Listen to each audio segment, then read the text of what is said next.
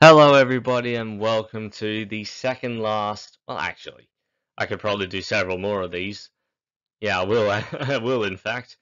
But let's just say our next DLC speculation video covering different DLCs that I've designed with update features to um, complement. That's the word I was looking for. But this time we're covering primates, a sorely lacking group of animals in Planet Zoo and I thought I could spice up the roster a little bit. Um, I have included the Hamadryas baboon in this roster, mainly because I'm very confident that the Gelada will be chosen instead for the Highlands pack, because Geladas are much more known for their Highland presence than Hamadryas baboons. But either way, uh, whatever we get could be a substitute. So, yeah, let's get into the monkey business. I know it's definitely not a monkey, but our first animal is the Coquerel sifaka, a lemur of Madagascar, as that's the only place they're found. Um, and it would be one of the most unique animals in the game, full stop, given that they can't exactly walk, so instead they leap on the ground, as you can see in the little image in the top left. And yeah, it would be very interesting to just see that all these little leaping lemurs hopping around your enclosures. That would be just so fun to watch and they have all these unique movements, like they'll bob their heads around and all that sort of interesting movement, and the way they jump as well, uh, vertical jumping from tree to tree. That would just be a cool thing to see. Coquerel sifaka is probably my my most requested primate, as they are just. I just want to see them in Planet Zoo so much. Like, it, they would be so fun to watch. Like, that's what that's what I think with many animals that aren't in the game yet, because I know some of their special behaviors and unique quirks that others don't really think about. Like the fishing cat, it might be another cat, but it dives into wa- water to catch fish on a daily basis. And it's also another small cat from Southeast Asia, of which we only have one other small cat from Southeast Asia, being the clouded leopard. And even they're not that small. But um, Coquerel sifaka, most unique lemur we could get. Or so we think. We'll get to that in a sec. And Hamadryas baboon needs no introduction. One of the most requested primates in the game. Silver mane and red button face. Found in around the Red Sea and in on cliffs, savannas, and in desert areas of the Horn of Africa up into Saudi Arabia and the other parts of the Middle East. A highly represented animal in zoos would make a great animal to the game. Hasn't yet, but Planet Zoo doesn't have a true baboon just yet, and Hamadryas baboon is the perfect choice. Now, I said um, most unique primate we could ever get for Coquerel sifaka, but I, I really takes the cake for it. It really just doesn't look like a primate. It is so odd in so many ways. That big bushy tail, all those white hairs, um, those big bat-like ears, the bright orange eyes, the rodent-like teeth, and not to mention the creepy skeletal fingers on each hand. Yeah, the Ai are very weird, but also very cool creatures that I would love to see introduced to Planet Zoo. Like, it, would be great to think of just seeing an Ai just tapping around on a tree with that finger looking for food. Like that could be a new enrichment item. A forage tree that the Ai climbs into or climbs onto. Although we could have new nest boxes for primates, such as Ai's. That'd be interesting. And it climbs up, taps around, and uh, gnaws its way in through the bark with its rodent-like teeth, and reels out a bug with it with its long skeletal middle finger that's just an idea for the Ai, but they're also nocturnal, um, which, in comparison to all the other primates in the game, is often unheard of. So they would be much more active at night. So that that could be a unique little attribute um, to the Ai's favor.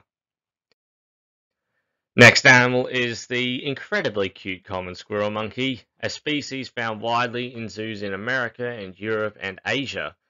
Um, not in Australia. We've got the black cap squirrel monkey, which I have got as an alternative later. But common squirrel monkeys are mo- most little ki- little kids' favorite kind of monkey when you go to the zoo because they're often displayed in sort of petting zoo, children's zoo sections. Like Wildlife Explorers Base Camp at San Diego Zoo's got some common squirrel monkeys, I believe.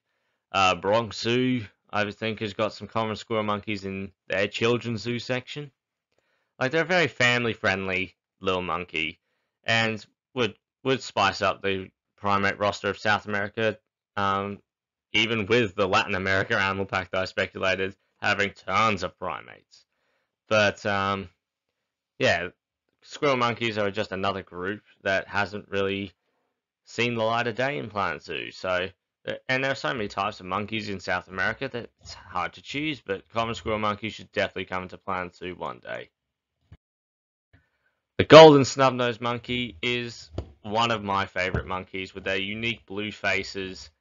And yeah they're very they're very well adapted to cold environments living off almost nothing in the winter.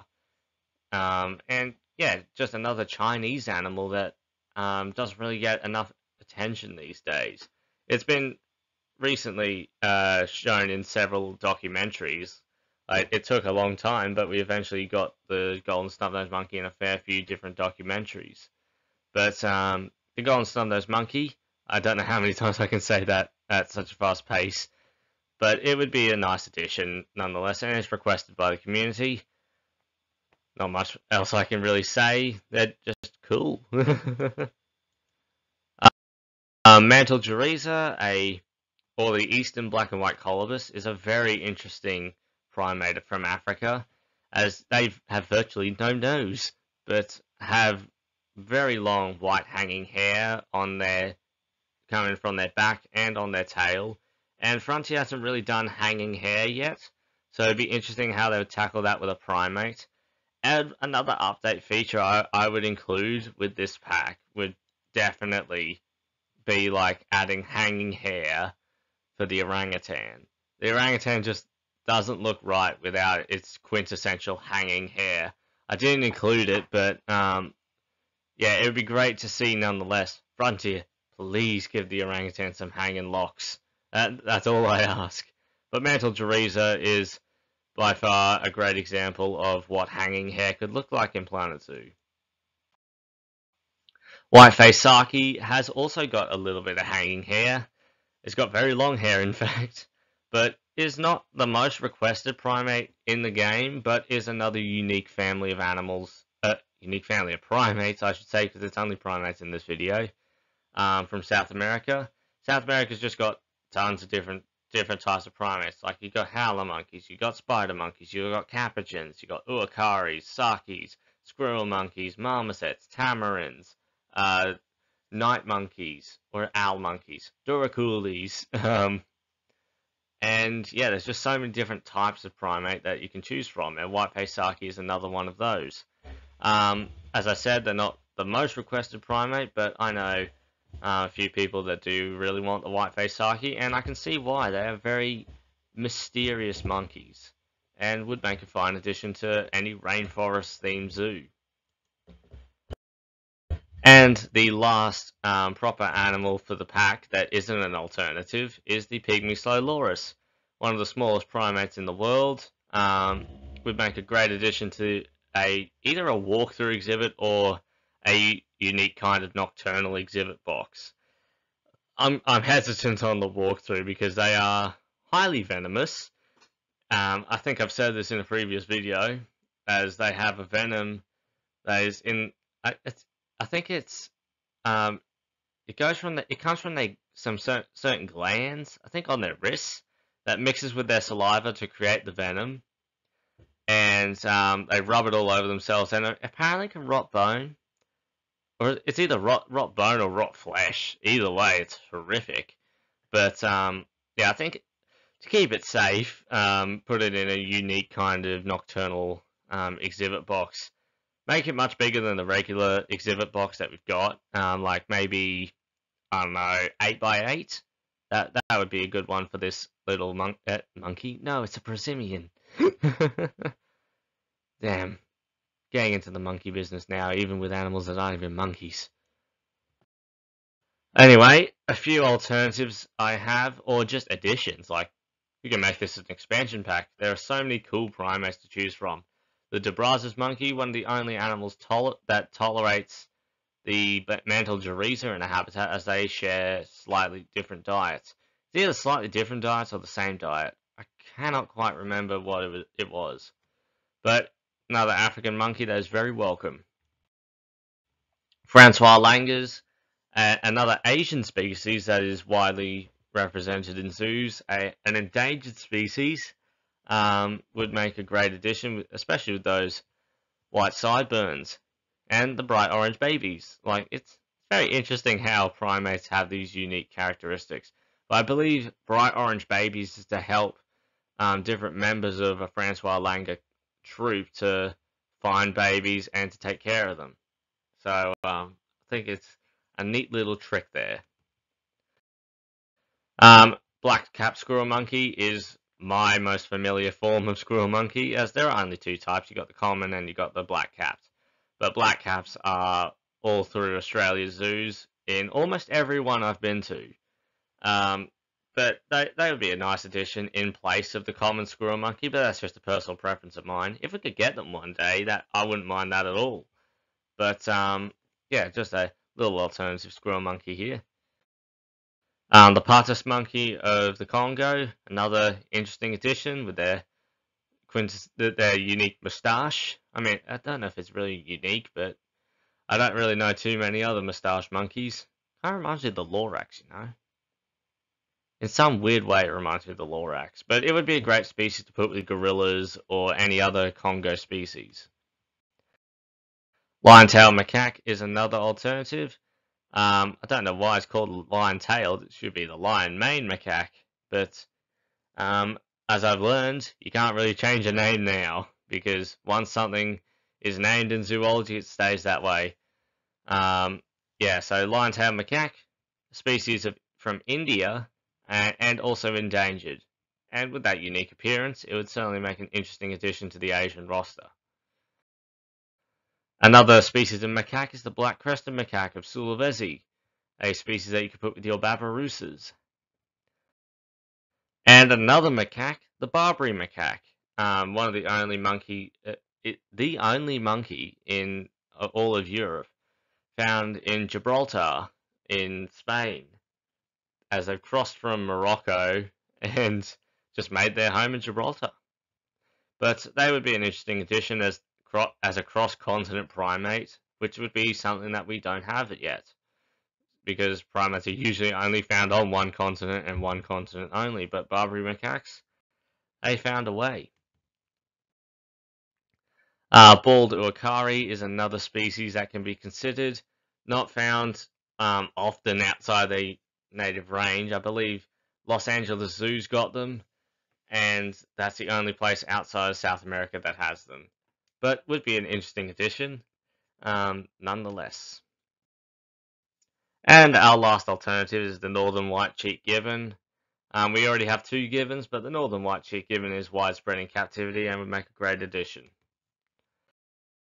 A few update features I've got here revolve all around animals. So one is increasing the social group limit of the hyenas, particularly the spotted hyena. Striped hyena, not so much. They're more solitary than anything else. But spotted hyenas are often seen in large groups in the wild, yet in Planet Zoo we can only have up to four. Imagine having a herd, a herd? having a clan of up to, I don't know, 24 hyenas? That, that, would, that would be insane to see, but who knows? While Frontier's at it, they could give the hyena a little bit of a facelift, make it, um, give it a bit of a remodel to resemble the one you can see in the picture before you. As hyenas do have a very particular look, uh, and I think the one that we got right now is a bit too dog dog-like for, um, for my taste. Um, another addition would be aquatic play. So animals like elephants will often play in water to increase social bonds. And it would just be a fun thing to watch, just elephants rolling over each other in the water, just having a blast. And animals like African hunting dogs and bears and tigers, all this, all these sort of animals that spend a lot of time in water, um, would be great to see a bit of aquatic play. Just it, it would just liven up the aquatic experience.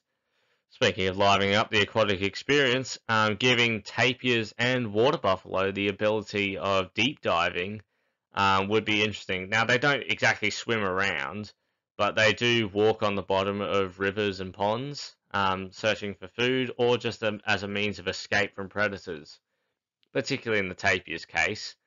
But um, it would just give these ungulates a bit more unique characteristics to them. Like imagine you're looking at your water buffalo enclosure and just emerges from the water, um, and you couldn't even know it is there. And the tapirs too. I've seen um, many videos of tapirs um, spending a lot of time under the water, so that being um, brought into Planet Zoo would be a great addition.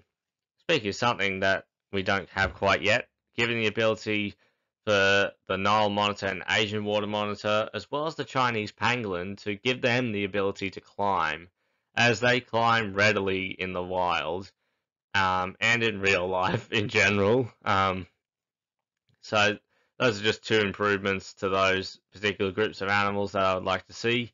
And one last thing, given brachiation to bonobos and chimpanzees, as aside from orangutans, gibbons, and spider monkeys, they, they too brachiate and then we would have every animal that's able to brachiate on the planet in Planet Zoo.